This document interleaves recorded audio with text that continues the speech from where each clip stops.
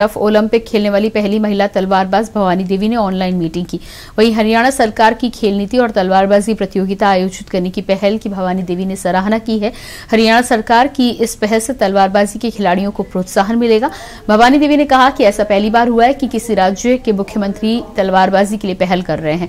मुख्यमंत्री से बातचीत में भवानी देवी ने आश्वस्त किया कि इससे आने वाले वक्त में तलवारबाजी में और भी मेडल आने की संभावना बढ़ेगी। Thank you everyone sir minutes, Punjab विधानसभा में मुख्यमंत्री चन्नी की स्पीच के दौरान हंगामा हुआ। हंगामा इतना बढ़ा कि नवजोत सिंह सिद्धू और अकाली दल के नेताओं में झड़प हो गई।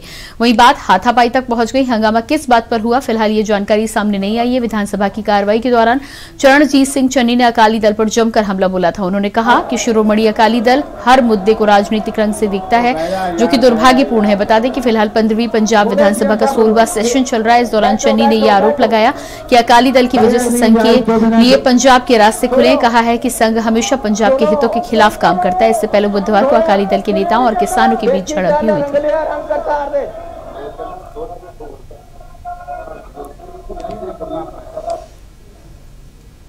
अमृतसर की तहसील अजुना के गाँव फतेवाल में देर शाम पुलिस ने डॉग फाइटिंग रिंग का पर्दाफाश किया। मामले में चार लोगों को गिरफ़्तार किया गया। हालाँकि कुछ लोग भागने में सफल रहे, एसएसपी राकेश कौशल के मुताबिक एक एनजीओ ने उन्हें इस बारे में सूचना दी थी, जिसके बाद उन्होंने एक टीम बनाकर छापेमारी की। इस दौरान वहाँ डॉग फाइटिंग करवाई जा रही थी। पुलिस की टीम ने मौके से छह पिटबुल को आज़ाद करवाया है और चार लोगों को मौके से गिरफ़्तार किया है।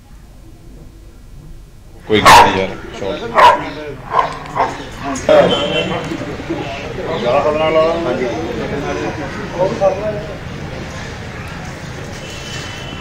ਬਣਿਆ ਵੀ ਨਾ? ਬਣਿਆ ਹੀ ਨਹੀਂ? ਬਣਿਆ ਨਹੀਂ ਵੈਸੇ ਚਾਰ ਬਸ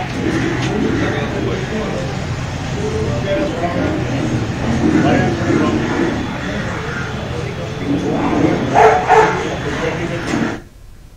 अमृतसर में बीआरटीएस के मुलाजिमों के द्वारा प्रदर्शन किया गया, जिसमें उन्होंने पंजाब सरकार और बीआरटीएस के प्रोजेक्ट मैनेजर के खिलाफ जमकर नारेबाजी की। पत्रकारों से बातचीत करते हुए दविंदर सिंह क्लेर ने कहा कि पंजाब सरकार ने एक ऑर्डर पास किया है, जिसमें सैलरी में इजाफा किया गया है, जिसके ऑर्डर कमिश्नर म्यूनिसिपल ने भी पास कर दिए लेकिन प्रोजेक्ट मैनेजर सिमरन सिंह हमारी कोई भी बात नहीं सुन रहे हैं, जिसके चलते हम मजबूरन धरना प्रदर्शन करने को मजबूर हैं।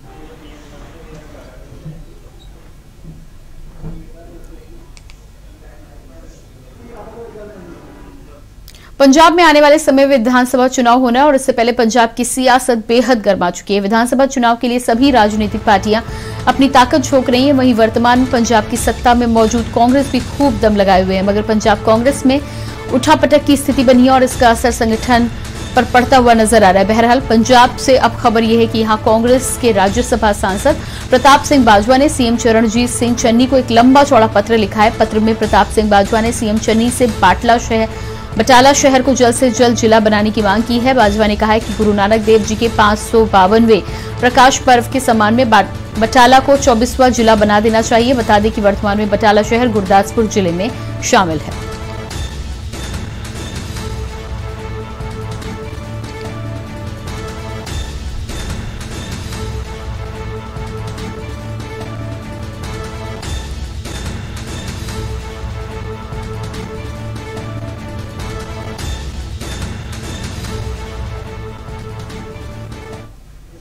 खबर अमृतसर से है, जहाँ राज्यसभा मेंबर श्वेत मलिक ने रेलवे स्टेशन का जायजा लिया। इस दौरान उनके साथ डीआरएम भी रेलवे स्टेशन पर मौजूद रहे। उनका सपना था कि अमृतसर रेलवे स्टेशन को वर्ल्ड क्लास रेलवे स्टेशन बनाया जाए, जो अब बन चुका है। वहीं श्वेत मलिक ने कहा कि स्वर्गीय अरुण जेटली ने दो सौ निन्यानवे करोड़ रुपए रेलवे स्टेशन के लिए जारी किए, लेकिन पंजाब सरकार से गिला है कि पंजाब सरकार ने चालीस करोड़ की लैंड ली थी।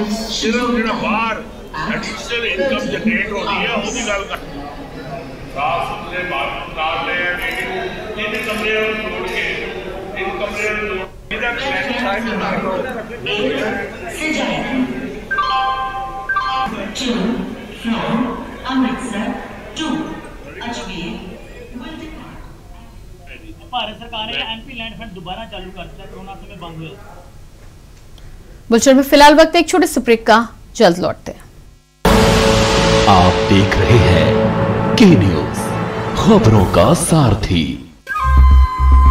सुपुत्र मेडिटेशन गुरु बेहद नेक। और पिताश्री थोड़े रंगीले थोड़े दिल फेंक दोनों के अलग हैं रंग। पर दोनों का एक अनोखा स्वाद। कमला पसंद अनोखा स्वाद।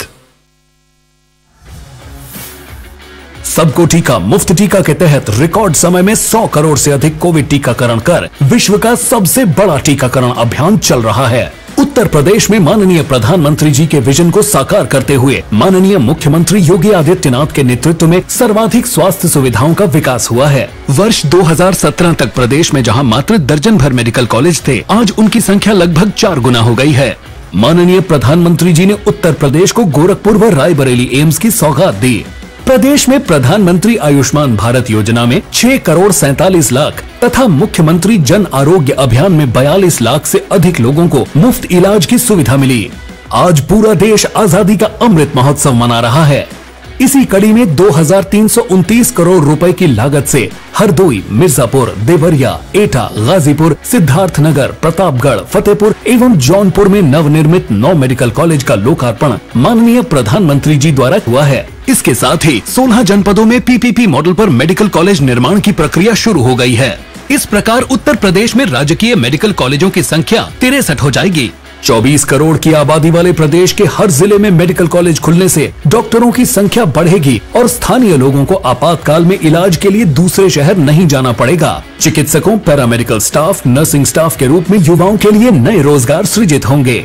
सोच ईमानदार, काम दमदार। है कि चख रहा है। अल्फाजों का